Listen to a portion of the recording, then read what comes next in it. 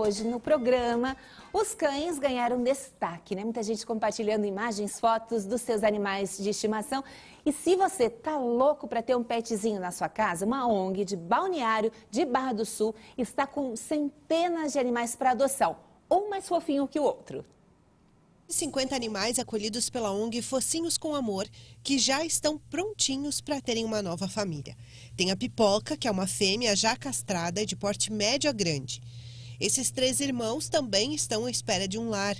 Gosta dos caramelos? Opções aqui não faltam. Tem a Vitória e o Nescau, que também é castrado. Essa é a Sorriso, que tem porte médio. Já o Claudinho é de porte grande e também foi castrado.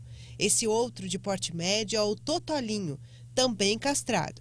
Tem ainda a Totora, que é mestiça da raça pastor alemão, e a menina Flocos, que também foi castrada. Todos esses bichinhos estão disponíveis para adoção em Barra do Sul. O telefone para contato é o 47 98904 7285. Não compre, adote. Tem em Barra do Sul, aqui em Joinville também temos inúmeras ONGs né, que fazem esse trabalho tão importante, mas a gente não pode sobrecarregá-los. Temos que ajudá-los. Como? Adotando.